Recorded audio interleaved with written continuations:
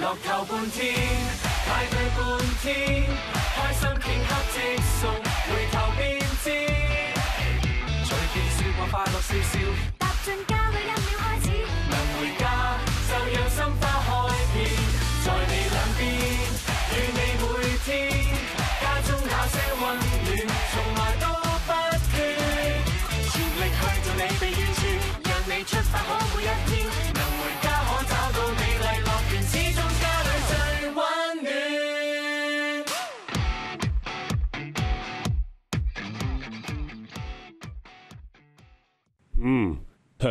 tâm trạng tốt thì rượu cũng đặc biệt ngon.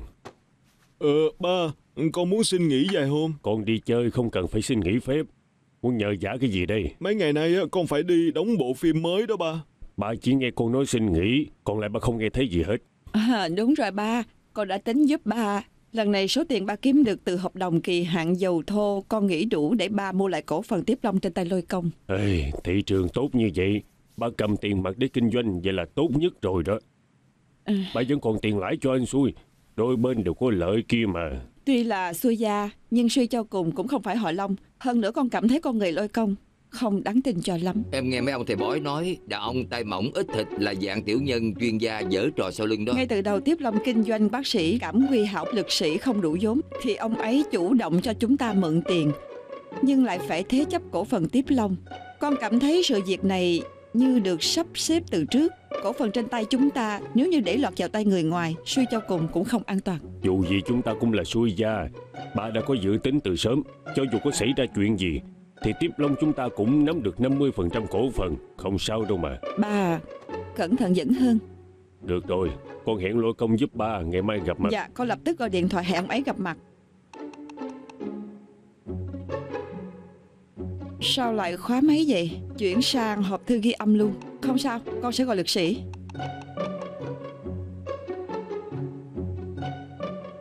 Ngay cả lực sĩ cũng khóa máy.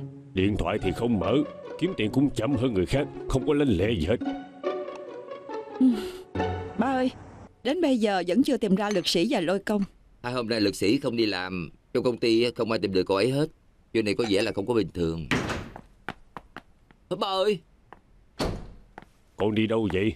Mấy hôm nay kiếm con quá trời kìa. Ba ơi Lần này ba phải giúp cho con đó Có chuyện gì? Con cần 100 triệu đô la Mỹ để cứu Jenny Hả?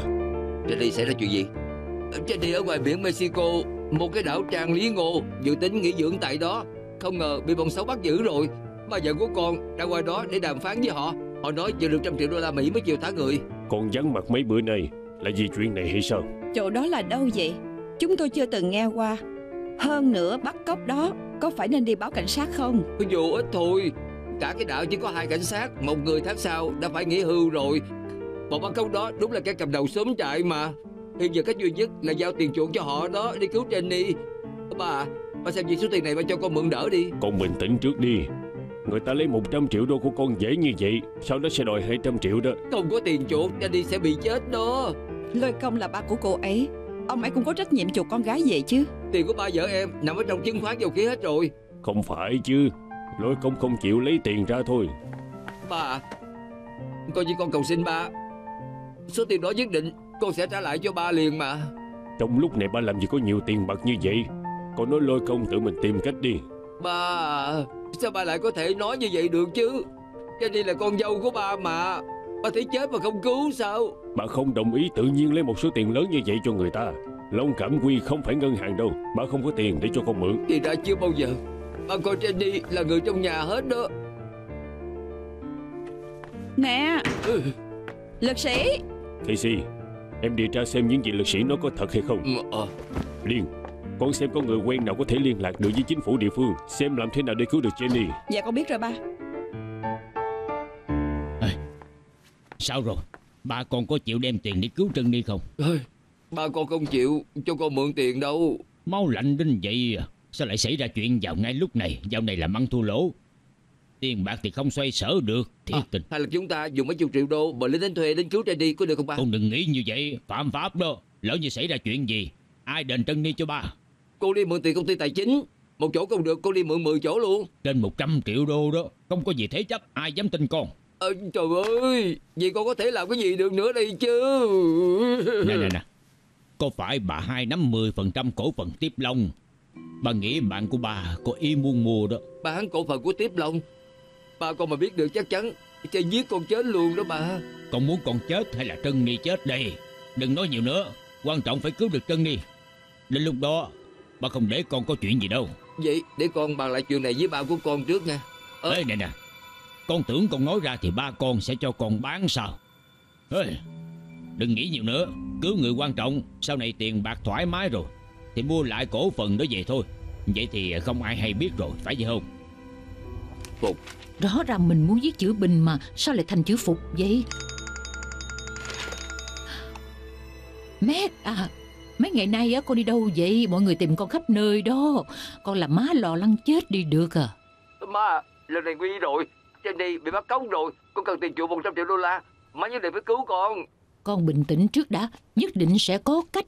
Ba không chịu cho con mượn tiền. Bây giờ chỉ có má mới cứu được Jenny thôi à. 100 triệu đô đó Má làm gì có nhiều tiền như vậy? Chúng ta có mà. Má cho con mượn cổ phần tiếp long trên tay của má đi. Cộng thêm tiền của con nữa là đủ rồi. Má không cho con mượn Jenny mất mạng thật đó. Một mình lơ công đem tiền chuộc qua đó Có khi nào bản thân ông ấy cũng có chuyện không Bọn má cốc chỉ cho phép một mình ba vợ của con qua bên đó mà thôi. Con muốn đi mà không có được. Ba vợ của con nói Đã tìm được người có thế lực ở địa phương để giúp đỡ rồi. Con nghĩ chắc là Không có sao đâu. Họ cũng chỉ muốn lấy tiền thôi Chắc là không sao đâu. Ừ. Alo?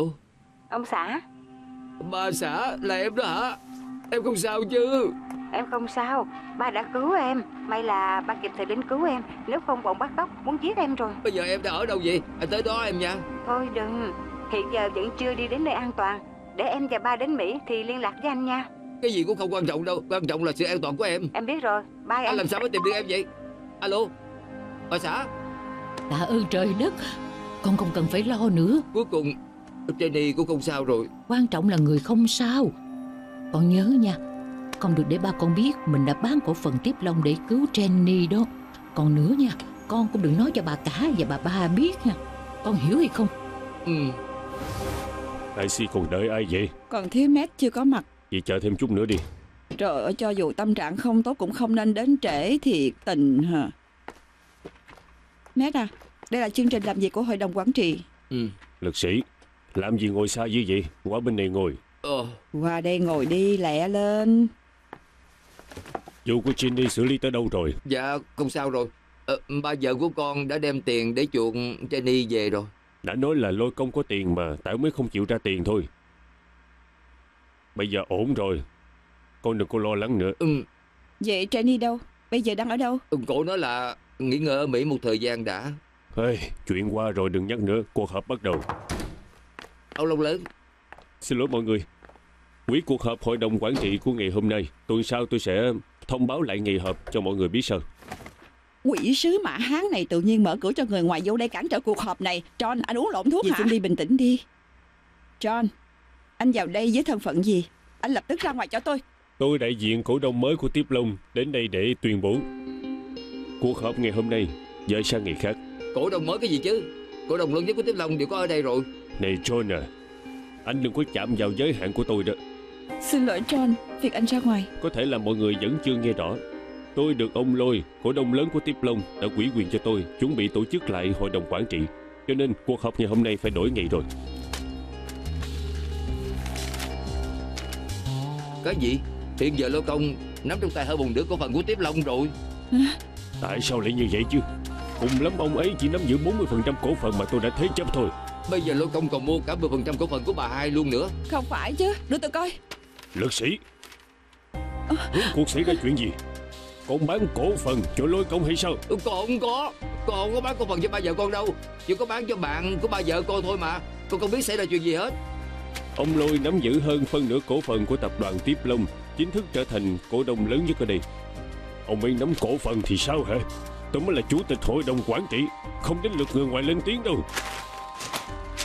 Ông Lôi có dặn dò khi họp hội đồng quản trị, Vấn đề đầu tiên sẽ là Cách chức chủ tịch hội đồng quản trị của ông Long Trạm Quy Thật ra thì kể từ ngày hôm nay, Ông Long lớn đã không còn là người Nắm quyền ở Tiếp Long này nữa.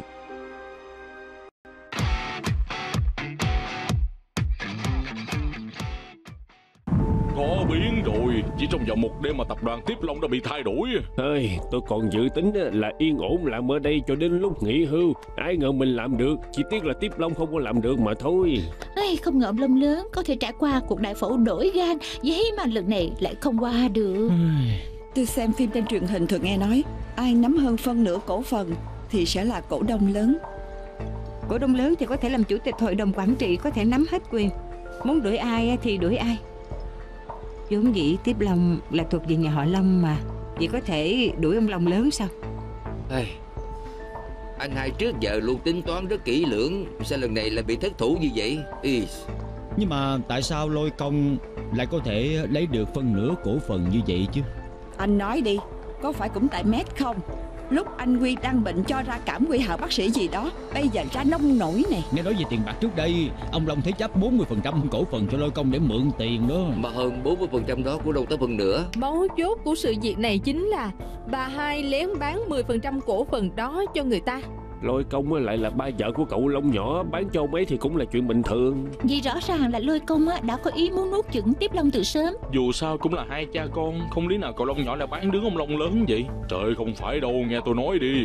Thật ra cậu Long nhỏ không hề biết toàn bộ sự việc này Là ba vợ của anh ấy lôi công đã hại anh ấy đó. À, hèn gì lâu rồi không thấy cô Long nhỏ Thì ra cổ là Hán Giang Hey, tóm lại á, bây giờ Tiếp Long có biến lớn rồi. Hiện giờ chủ tịch là lôi công. Cho dù Lôi Công là hội đồng chủ tịch Thì ông Long lớn vẫn là cổ đông lớn. Đúng là vậy Nhưng ông ấy đã không còn quyền quyết định. Hiện giờ tất cả mọi việc đều là chủ tịch hội đồng quản trị nắm hết. Dù Lôi Công muốn đổi hết các thành viên trong hội đồng chủ tịch vẫn được thôi. Tại sao ông Long lớn không mua lại cổ phần của lôi công? Vậy là ổn rồi Cô nói thì dễ lắm Lôi công chịu bán mới được chứ. Ông ấy giống dĩ là có ý muốn chiếm đoạt nguyên Tiếp Long luôn mà. Anh Quy suốt đời anh Minh Không lẽ lần này thất bại thật sao? Phải đó. Tuy là mất chức vụ chủ tịch Nhưng mà ông ấy vẫn có nhiều tiền ở trong tay kia mà Tính ra lôi công cũng đâu có thể đuổi cùng gì tận ông Long đâu. Nhưng khó khăn lắm mới thiết lập nên Tiếp Long. Bây giờ bị người ta nuốt chửng Vào cách mấy thì cũng không thể nuốt nổi con vật này. Mọi người không có xem phim sao? Những lúc như vậy á, sẽ có bạch võ sĩ đến giúp đỡ trong lòng lớn. Ừ. Phim á thì như vậy thôi Đời thực thì đã thua Thì là thua rồi. Ê, thắng làm vua thua làm giặc. Lần này ông Long lớn không muốn đi cũng khó lắm à. Ê, Mấy người đừng nói mấy lời vô ích có được không Không lẽ thật sự không có cách nào giúp cho ba tôi sao? Giúp bằng cách nào chứ? Mấy vấn đề cao siêu như vậy Đương nhiên chúng tôi chỉ có thể nói mà không làm. Ừ, Nè mọi người Đừng có bi quan như vậy mà. Ông Long lớn có nhiều kinh nghiệm như vậy nhất định sẽ có cách thôi. Mọi người cứ bình tĩnh quan sát rồi tính tiếp. Ừ. Ê Ô cháu gái Đến rồi hả?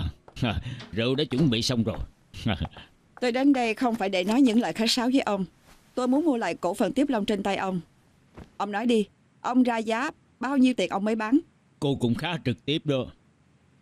Tôi ra giá cao hơn thị trường 20% để mua lại cổ phần từ ông. Lôi công Ông biết tính toán như vậy Ông cũng biết sang tay là có lời. Tốt hơn ông kinh doanh từ công ty này đi. Cô nghĩ tôi sẽ bán lại cổ phần cho cô một cách dễ dàng vậy sao? 30% Tiếp Long đã đến tay tôi tôi không bán. Ông đã có ý muốn nuốt chửng Tiếp Long từ lâu rồi. Cô có nói gì đi nữa? Cô cũng muốn Tiếp Long tốt mà Vậy thì cô hãy nghe tôi nói. Tôi ra điều kiện. Cô là người giỏi nhất trong công ty. Tôi muốn cô tiếp tục ở lại công ty để giúp đỡ tôi. Cô có thể ra mọi điều kiện mình muốn. Tôi mang họ Long đó. Ông nghĩ tôi sẽ nhận lời sao? Nhưng tiếc là cô chỉ là con gái. Cô vất vả dựng nên Giang Sơn cho ông ấy. Tôi nghĩ ba cô chưa từng nghĩ sẽ giao lại tiếp Long cho cô đâu. Hả? Tôi làm việc cho ba tôi. Tôi chưa từng nghĩ việc thừa kế công ty. Cô giỏi nhất công ty Kiếm tiền nhiều nhất Thậm chí cái gan của cô cũng hiến cho ba mình luôn. Cuối cùng á Thì ba cô cũng sẽ giao lại cho em trai cô. Cô cam tâm mà Có lộn không vậy? Cho dù bán xe bán nhà bán luôn cả bản thân Cũng đừng bán cổ phần của Tiếp Long mới được chứ. Không làm vậy Thì đâu có tiền để cứu Jenny chứ. Còn đó Không biết có phải thông đồng với người ngoài để gạt tiền của anh Quy không nữa. Con thề Trước giờ con thật sự không có biết cái gì hết đó. Con toàn ta toàn ý muốn cứu Jenny thôi mà Con làm sao biết được là cổ phần lại bị bà vợ của con mua được chứ? Anh Quy à Thật sự Mét không phải thông đồng với người ngoài gạt tiền của anh đâu. Trước khi con làm con có động não hay không vậy? Bây giờ Tiếp Long có thể bị hủy hoại trên tay con bất kỳ lúc nào. Đúng đó. Con không có não. Nhớ nào con biết quan tâm tới người nhà của con. Con nói vậy là ý gì đây hả? Hả? Jenny á, là người nhà họ Long đó bà. Là bà xã của con. Con không cứu em ấy thì ai cứu đây Con không có máu lạnh giống như bà đâu. Còn hại công ty ra nông nổi này còn không biết sai Còn trả treo với ba nữa hả? Anh Huy à Đừng có đánh nó. Nó muốn đánh thì đánh em. Cổ phần đó em cũng có phần đem đi bán. Mấy người ai nấy đều phản hết rồi. Ê, anh xui Làm gì mà nóng giận vậy? Có gì bình tĩnh mà nói chuyện với mấy đứa nhỏ chứ? Chuyện gia đình tôi không cần xen vào đâu. Tôi quên nói với anh Tôi đã nói với John tiếp quản toàn bộ từ tiếp long. Ông Lôi sẽ tổ chức lại tài sản của công ty. Xin lỗi nhông ông Long lớn, Căn nhà lớn và biệt thự ông đang ở cũng là tài sản của công ty. Mời ông sớm ngày dọn ra khỏi. Căn phòng làm việc này của chủ tịch cũng phải cần phải tu sửa lại. Phiền ông mau chóng dọn dẹp rời khỏi trong ngày hôm nay. Một ngày tôi còn là chủ tịch của Tiếp Long, Thì vẫn còn có quyền quyết định. Trần Mặt Sắc, Anh vào đây. Mà hán à Sao cậu lại đứng sang bên của lôi công? Mau đứng vào bên này đi. Nè. Ai là ông chủ tốt? Đi theo người đó thôi. Cái thằng phản bội này Sao lại như vậy chứ? Ông Long lớn Xảy ra chuyện gì vậy? Nè Đồng Mao Sắc Anh có biết hiện giờ người nắm quyền là ai không vậy? Đi ra đi. Bảo vệ ông Long lớn là trách nhiệm của tôi. Đầu anh ký ghi rõ là trung thành với tập đoàn Tiếp Long mà Chứ không phải trung thành với Long Cẩm Quy đâu. Bây giờ ông chủ mới kêu anh đi ra Anh có đi ra hay không? Nếu không anh sẽ bị đuổi việc đó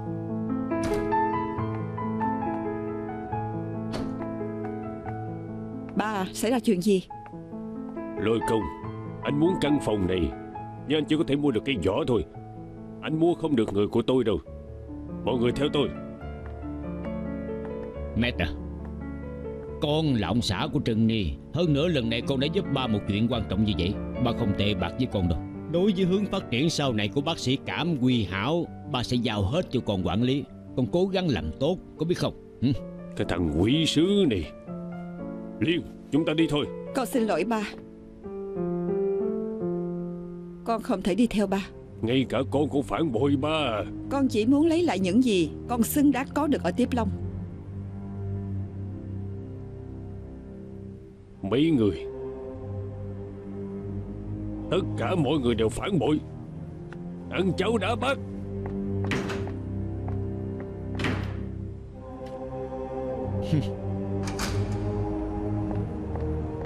Ông chủ Có phải công ty sẽ ra chuyện không? Lên xe rồi hắn nói.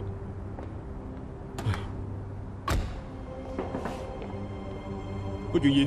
Chiếc xe này và tài xế đều thuộc về tập đoàn Tiếp Long đó.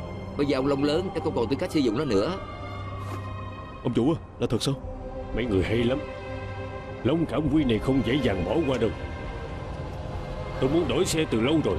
Chiếc xe cũ nát này không ngồi thì thôi. Tránh ra Xin lỗi ông Long lớn. Đúng rồi Ngoại trừ chiếc xe cũ nát này Được mua trên danh nghĩa của công ty Để tôi coi. Nhân vật trên người ông Long lớn như là Cái nơ đeo cổ Quy măng xết Và sợi dây nịch nữa Cũng dùng thẻ tín dụng của công ty để mà mua. Làm phiền ông Long lớn Phải tháo ra. Tôi không tháo ra thì sao? Con gan thì anh cứ việc lấy đi. Dân triệu chú thân Làm việc đi nhanh lớn Anh rể lên xe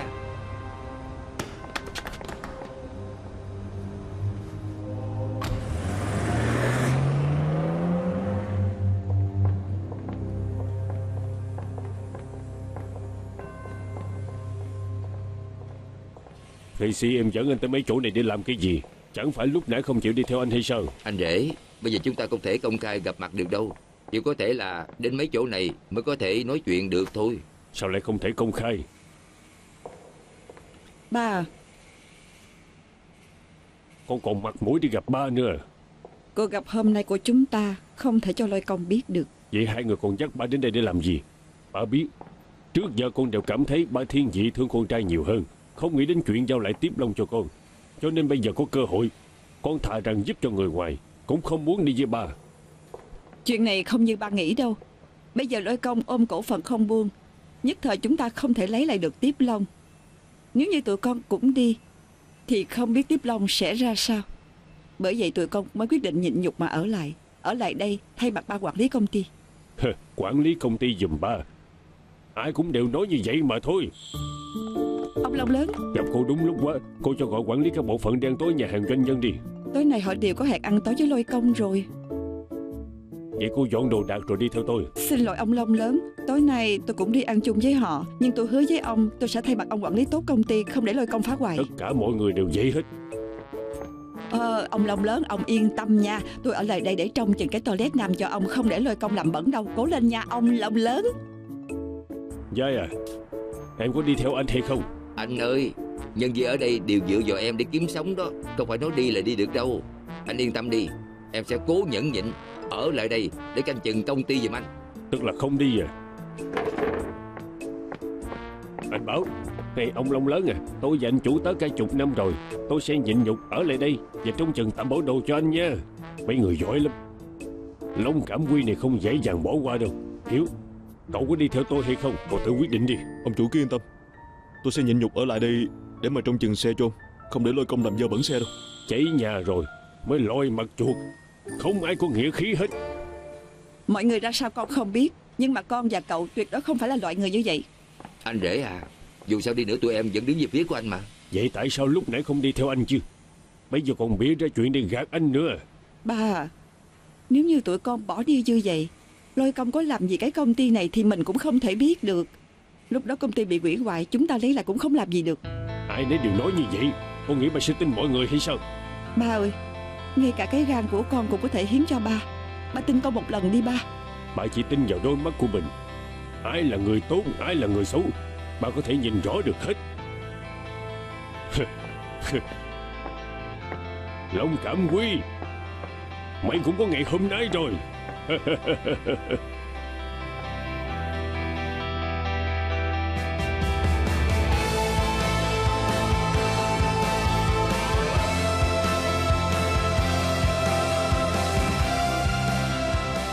Kế hoạch cho người tàn tật và phục hồi sức khỏe.